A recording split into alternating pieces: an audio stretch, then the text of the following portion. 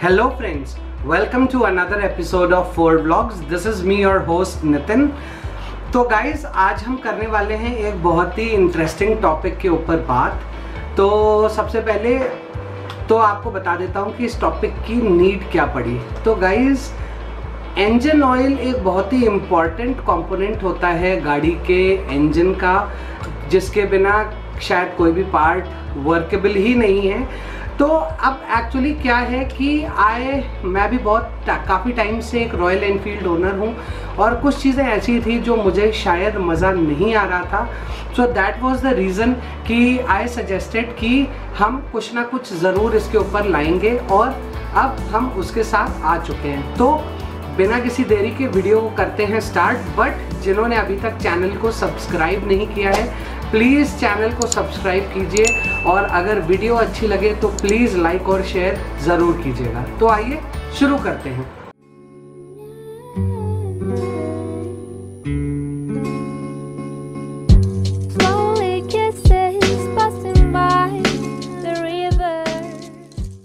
सो so guys सबसे पहली चीज़ तो बात करते हैं हम कि क्या ज़रूरत है।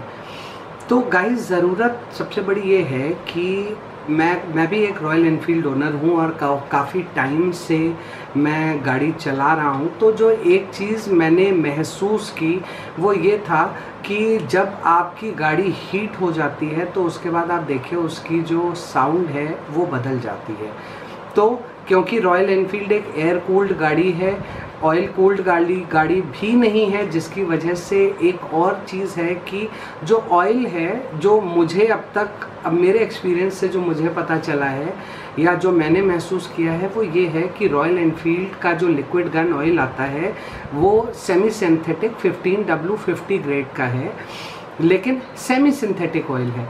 तो क्या है कि जब ये oil over a period of time जब आप गाड़ी चलाते हो, जैसे आप 30-40 किलोमीटर चला रहे हो गाड़ी तो गाड़ी जब हीट हो जाती है तो आप देखिए टैपेट की नॉइजें शुरू हो जाती हैं, जो कि आप कितनी भी कोशिश कर लीजिए, कितनी भी बार आप सेटिंग करा लीजिए, वो चीज़ें नहीं जाती। तो वो क्या ड्रॉबैक है? आ जाइए इसके ऊपर बात करते हैं। तो सबसे पहले बात करते हैं लिक्विड गन इंजन ऑयल के बारे में। तो लिक्विड गन की फ़ोटो आप यहाँ राइट साइड में स्क्रीन पे देख सकते हैं। इस समय जो आ रही है, ये liquid gun engine oil Royal Enfield का 15 डब्ल्यू फिफ्टी है, जो कि साढ़े तीन सौ सी गाड़ियों में रॉयल एनफील्ड रेकमेंड करता है। तो अब इस ऑयल की खासियत क्या है? देखिए गाइज़ अगर आप ये 15 W fifty liquid gun oil डला रहे हैं अपनी गाड़ी में it is definitely a recommended grade जो कि आप यूज़ कर रहे हैं।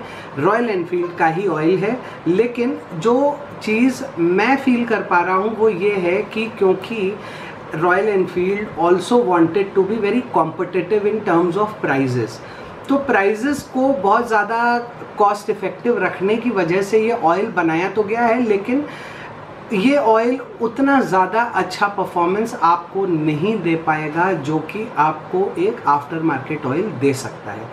यहाँ पे मैं कुछ चीज़ें आपको बहुत पहले क्लियर कर देता हूँ कि मैं किसी भी ब्रांड का प्रमोशन नहीं करता हूँ। मैं जो चीज़ें अपनी गाड़ी में खुद यूज़ करता हूँ और जो मुझे दिखता है कि एक्चुअली में अच्छा है, मैं सिर्फ़ उसके बारे में बात करता हूँ। तो गाइज़ अगर आप सेमी सिंथेटिक ऑयल नहीं तो क्या डलाना चाहिए? तो गाइज़ मेरा सजेशन आप सबको ये होगा, क्योंकि ये एक साढ़े तीन सौ सी का इंजन है, तकरीबन 6600 से 7000 आरपीएम पर मिनट तक का इसका जो मैक्सिमम आरपीएम रेंज है, वो जाती है। तो यहाँ पे मैं आपको सजेस्ट करूँगा कि आपको यूज़ करना चाहिए सिंथेटिक ऑयल सिंथेटिक ऑयल की एक खासियत होती है कि ये हीट होने के बाद भी इसकी ऑयल की जो विस्कोसिटी है, इसमें कोई चेंज नहीं आता है। या फिर आप यूँ कहें कि जो मिनरल ऑयल होता है, वो जब ज़्यादा गर्म हो जाता है तो उसकी लुब्रिकेशन क्वालिटी मैं आप बहुत ज़्यादा टेक्निकल टर्म्स यहाँ पे इसलिए यूज़ करना नहीं चाहता, क्योंकि बहुत सारे हमारे सब्सक्राइबर्स होंगे व्यूअर्स होंगे, जिनको इतना ज़्यादा टेक्निकली चीज़ें नहीं समझ आएँगी। तो मैं इसको बहुत सिंप्लीफाइड भाषा में समझाने की कोशिश कर रहा हूँ कि जो सेमी सिंथेटिक ऑयल होता है, उसकी जो लुब्रिकेशन क्वालिटीज़ हैं, जब वो ऑयल गर्म हो जाता है या कुछ हज़ार किलोमीटर चल जाता है तो उसकी वो लुब्रिकेशन क्वालिटीज़ जो हैं, वो बहुत ज़्यादा कम हो जाती हैं compare to a synthetic engine oil अब यहाँ पे कुछ चीज़ें और निकल के आती हैं तो सबसे पहले हम बात करते हैं बेनिफिट्स की। तो सबसे पहले तो मैं आपको वो ऑयल दिखा देता हूँ जो मैं डलवाऊँगा और जो मैं यूज़ करने वाला हूँ। तो गाइज़ ये है वो oil this is Motul 300 V 15 W 50 grade तो अब सबसे पहले बात करते हैं ये 15 डब्ल्यू 50 ग्रेड क्या होता है और ये ग्रेड रॉयल एनफील्ड क्यों रेकमेंड करता है? तो 15 डब्ल्यू 50 जो ग्रेड है, वो एक मीडियोकर लेवल का ग्रेड है, यानी कि आपकी गाड़ी का इंजन अगर 100 डिग्री सेंटीग्रेड पे गर्म हो जाता है तो 50 इज़ द अपर लिमिट यानी कि इसकी जो लुब्रिकेशन क्वालिटी है, वो कितनी होगी? वो ऑप्टिमम होगी 50 ग्रेड का अगर ऑयल है तो 100 डिग्री पे हीट होने के बाद भी रॉयल एनफील्ड कहता है कि उसकी लुब्रिकेशन क्वालिटी होनी चाहिए एक्स तो ये वो ऑयल है जो मैं अपनी गाड़ी में डलवाने वाला हूँ इस सर्विस में। तो अब दूसरी बात करते हैं कि अगर आप इससे पहले बात करें तो ये जो 15W है, ये क्या है? और इसमें ऑयल 10W50 भी आता है 5W50 भी आता है। तो गाइज़ देखिए, मैं रहता हूँ नॉर्दर्न इंडिया में, यहाँ पे जो टेम्परेचर होते हैं, वो सब ज़ीरो नहीं जाते हैं। यानी सब ज़ीरो यानी कि ज़ीरो के नीचे जो टेम्परेचर होता है, वो हार्डली यहाँ पे जाता है। तो इसका मुझे जो बेनिफिट मिल जाता है वो ये है कि मैं, क्योंकि नॉर्दर्न रीजन है, यहाँ पे गर्मी बहुत होती है तो मैं एक ऐसा ऑयल ले रहा हूँ जो कि रॉयल एनफील्ड के रेकमेंडेड ग्रेड में भी है और इसकी परफॉर्मेंस क्योंकि ये पूरा completely this is a fully synthetic engine oil with ester core technology तो ये ऑयल आपकी गाड़ी में डेफिनेटली टैपिड साउंड्स कम करेगा क्लच और गेयर का शिफ्टिंग रेशियो बहुत स्मूथ कर देगा। आपकी राइड क्वालिटी बहुत अच्छी होगी वाइब्रेशंस भी डेफिनेटली कम होंगे। तो ये तो हो गए इसके बेनिफिट्स जो ये ऑयल आपको देगा। अब इसके बाद मैं एक बात और करता हूँ कि पहली बात करते हैं अब इसकी प्राइस की। तो गाइस देखिए, ये ऑयल काफ़ी एक्सपेंसिव है। आप में से हो सकता है बहुत सारे सब्सक्राइबर्स या व्यूअर्स मुझे ये भी बोलेंगे कि आप ये इतना एक्सपेंसिव ऑयल डलाओगे तो कैसे चलेगा? तो देखिए सर आप आप मिनरल ऑयल भी डला सकते हैं, आप सेमी सिंथेटिक ऑयल भी डला सकते हैं। सबसे बड़ा जो फैक्टर होता है, वो होता है आपका ड्रेन इंटरवल तो अभी जो करेंटली जो मैं देखता हूँ रॉयल एनफील्ड की सर्विस बुकलेट तो उसमें जो मुझे दिखाई पड़ता है कि पहली सर्विस होती है 500 पे ऑयल चेंज उसके बाद दूसरी सर्विस 5000 पे ऑयल चेंज नहीं होता है, उसके बाद तीसरी सर्विस 10000 पे जिस पे ऑयल चेंज होता है 5000 पे सिर्फ़ ऑयल टॉपअप होता है। तो गाइज़ मैं कहीं ना कहीं इस पर्टिकुलर सर्विस इंटरवल से सेटिस्फाइड नहीं हूँ, क्योंकि आप कितना भी अच्छा सर इंजन ऑयल ले लीजिए, दस हज़ार किलोमीटर सिर्फ़ आप अगर उसको रन कर रहे हैं तो आपकी गाड़ी में लुब्रिकेशन डेफिनेटली प्रोवाइड नहीं कर पाएगा, कितना भी अच्छा हो।